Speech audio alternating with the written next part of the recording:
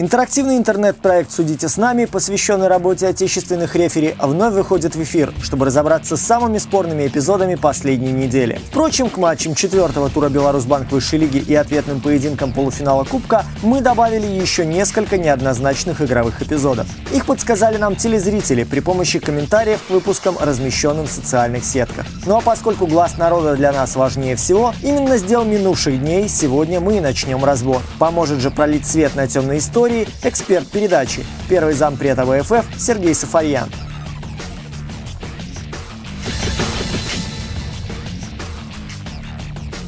Изначально возьмем курс на юг страны, чтобы вспомнить, как в рамках второго тура Мозырская Славия играла с Городеей. В том матче возмущение зрителей вызвала ситуация, имевшая место в штрафной гостей, где произошел контакт атакующего футболиста и вратаря.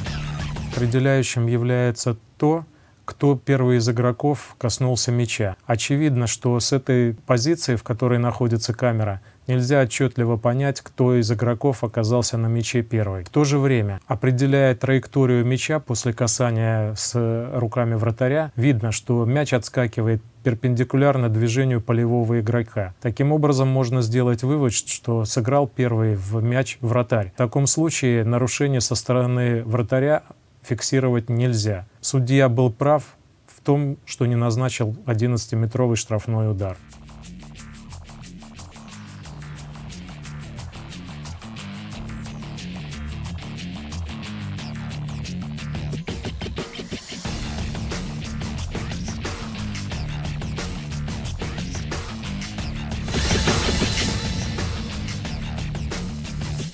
Туром позже парни Юрия Пунтуса вновь оказались в фокусе внимания. Правда, уже вне родной арены, а по соседству, в Гомеле. Там Славия выступила в роли пострадавшей стороны, поскольку, по мнению болельщиков Мазырян, Невалда поражал ворота их любимцев из офсайда. При определении положения вне игры важно, чтобы камера или арбитр находился ровно в створе игроков, которые находятся ближе к воротам в момент передачи партнерам мяча в зону борьбы между игроками. Расположение камеры не позволяет со стопроцентной уверенностью говорить, в каком расположении были игроки в момент выполнения передачи.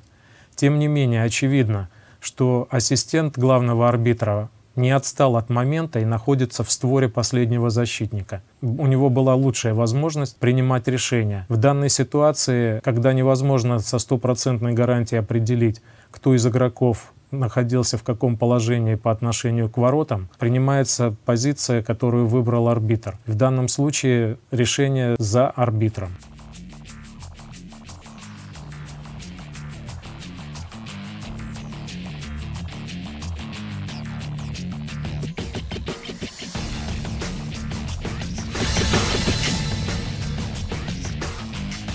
Далее переходим к событиям минувшего уикенда. И, разумеется, спешим отозваться на претензии людей, неравнодушных к футбольному клубу «Ислыч». Болельщики из Минского района возмутились отменой аж двух голов их команды ворота Гомеля. Поначалу в радости было отказано легионеру Джону. При вынесении решения в данном моменте следует особое внимание уделить расположению правой руки игрока атакующей команды. Пытаясь сыграть в мяч, защитник не видит нападающего, который находится у него за спиной. Его внимание сосредоточено на мяче. В то же время нападающий видит не только опускающийся мяч, но и расположение игрока защищающейся команды. Выставляя вперед правую руку, он не дает возможности выпрыгнуть игроку защищающейся команды и кроме этого толкает его вперед. Это является нарушением правил и гол не засчитан верно.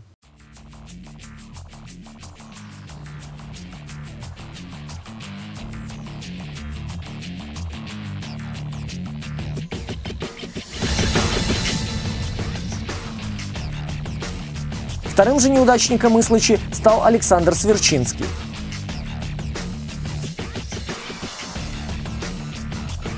В данном моменте мы вновь должны особое внимание обратить на расположение игроков в момент выполнения удара. И с какого места осуществляется съемка. Ассистент рефери находится в правильной позиции. Он своевременно стартует вместе с игроками защищающейся команды. И очевидно, что ему, как никому на этой записи, лучше видно, кто во время выполнения удара находится ближе к воротам. В данном случае надо принимать позицию, которую высказывает ассистент рефери.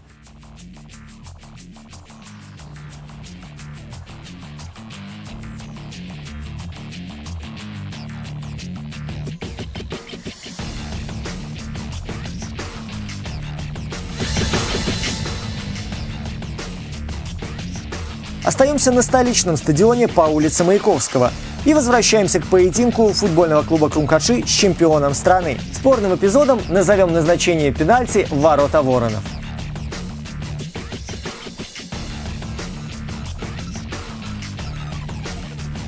На записи отчетливо видно, что игрок защищающейся команды пытается сыграть головой в мяч. Однако, не рассчитав скорость полета мяча и траекторию, он допускает ошибку, и мяч попадает в руку, которая находится в неестественном положении и таким образом увеличивает площадь тела.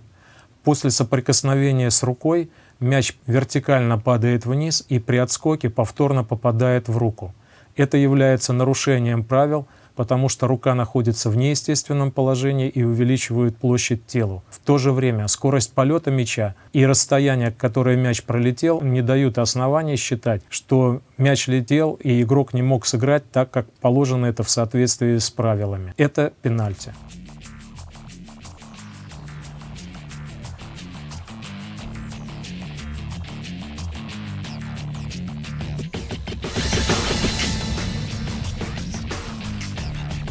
Самый же свежий материал для анализа подарил ответный полуфинальный матч между Борисовским Батэ и Брестским Динамо. На 89-й минуте поединка игрок хозяев Игорь Стасевич и футболист гостей Бабао сошлись в штрафной площади бело-голубых, что привело к падению атакующего полузащитника. Чемпион страны настаивал, что пострадал из-за нарушения соперника и требовал пенальти.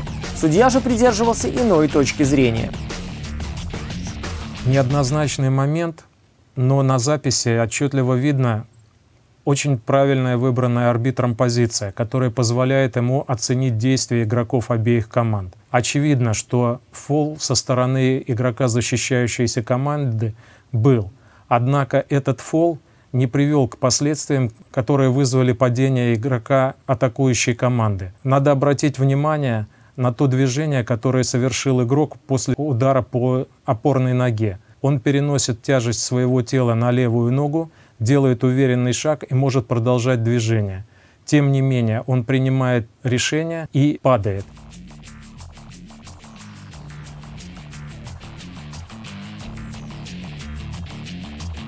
В данном случае, если бы подобное нарушение было вне пределов штрафной площади, арбитр дал бы преимущество и предложил бы продолжить атаку. Такое же решение выносил и арбитр в данном случае – но поскольку игрок упал, это было его решение, и нарушение со стороны игрока обороняющейся команды такое падение не вызывало. В данном случае арбитр был прав, пенальти не было.